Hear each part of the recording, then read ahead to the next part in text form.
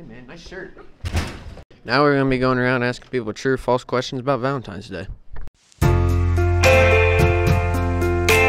True or false? More people buy more flowers for Mother's Day than Valentine's Day. True. That is correct. True or false? Teachers receive the most Valentine's Day cards. False. The answer is true. True or false? The lily is the most popular flower bought on Valentine's Day. False. That is correct. Today we are going to be asking people what their favorite restaurants are and why. Favorite restaurant? It has to be Chinese. Cool. What's your favorite restaurant and why? I definitely like Ralphie's for the chicken chunks. Okay, understandable. What's your favorite restaurant? Um, Cheddar's Why? because they have really good chicken tenders and queso. And croissants. Okay. Justin, what's your favorite restaurant?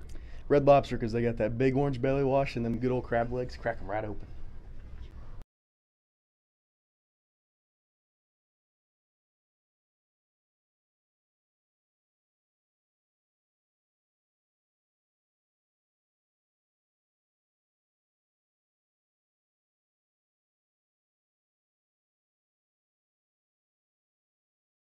Hey, I'm Melissa Heldman. I'm the Northern FFA president, and today we're hosting our blood drive.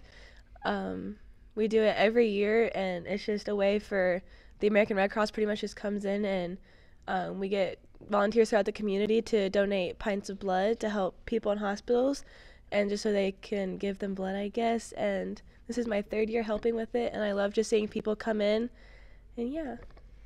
I'd just like to thank you to everyone who donated and who could donate and anyone who tried. It's a lot of work. You guys are awesome. You guys are conference champions now. How's it feel? Pretty good. Okay. How's the bus ride home? It was really exciting. Uh, It was kind of quiet, honestly. Quiet.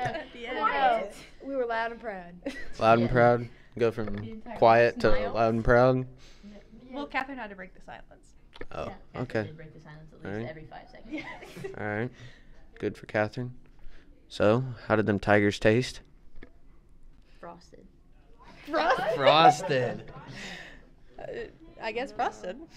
Frosted. Alrighty. Well, congratulations to the high school girls basketball team and have a merry Valentine's.